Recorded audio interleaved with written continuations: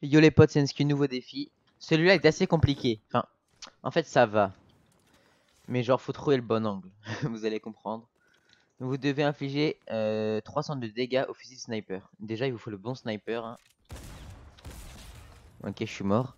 Il vous faut le bon sniper parce que le mien fait 95 de dégâts et pas 100.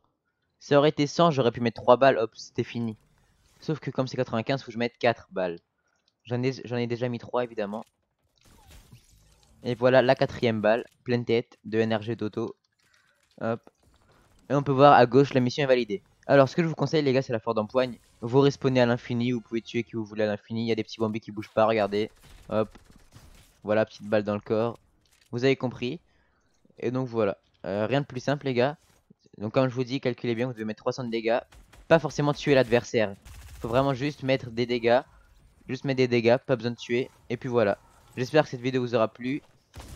N'oubliez pas de la liker et de vous abonner. Pensez au code créateur dans la boutique. N'oubliez pas que je fais tous les défis sur ma chaîne YouTube. Voilà. Ciao